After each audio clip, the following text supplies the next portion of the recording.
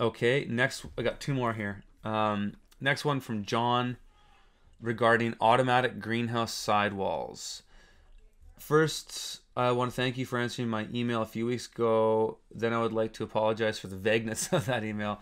I think the biggest issue was I didn't know what I needed to know to ask you so that you can answer my question. So after a little bit more research, uh, let me see if I can rephrase the question a little bit more intelligently. I'm not exactly sure when, but I had caught part of one of your videos, and what seemed seemed like a side note, you were showing off this automatic side curtain that was thermostatically controlled to open and close based on the temperature inside of a high tunnel. Okay, so I think that was the um, that was a video I did at Steadfast Farm. You had also stated that you were going to post the information in the show notes. Unfortunately, I was heading out the door to a dinner party in the town, and by the time I had sobered up the next day, well, I could not find said information. I had gone and did a web search as suggested, but could only find systems costing multiple hundred thousands of dollars. I recall you saying the system you had referred to in the video was just under under a thousand. Again, thank you for very much. Uh, I hope this will get me closer to finding the answer. I also want to thank you for all the help these past five years and your willingness to share knowledge of the industry. Sincerely, thank you, John Warren, Flying Jaybird Ranch in Emmett, Idaho. P.S. First planting season this spring.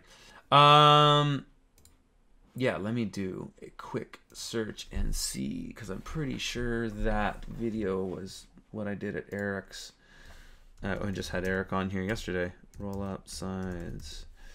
I'm fairly good with with tagging things in my YouTube channel.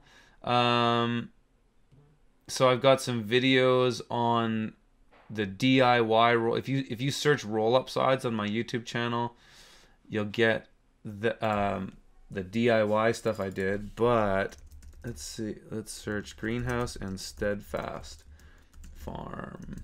What does that yield?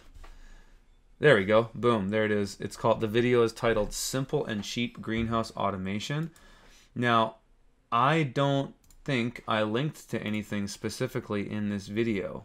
Um, let's see here. No, I didn't. Um, did I say? I mean, I don't want to listen to the video with audio right now. But, I mean, if you research that video, you should find your answer. Um, these things are fairly cheap. Like they're just. I mean, it doesn't. Just just do a search around for a second and uh, roll up sides greenhouse. Um, I mean greenhouse companies. Oh, look at this. What's Bootstrap Farmer got going on here? There's uh okay, yeah, there's the hand cranked one. $65 each. Um, I've got an automatic one actually that I've never really used on my greenhouses. So those are cheap.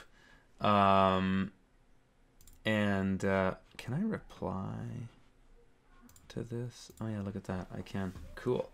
So I can just reply and post your your links in the forum for you right there in real time. Um, so yeah, I mean, just just search around a little bit for uh, you know greenhouse roll up sides. Like, there's a lot of options if you search that. Um, okay, another like even more DIY solution. So there's lots of stuff in there, DIY stuff. I'll put together a little thing for you here.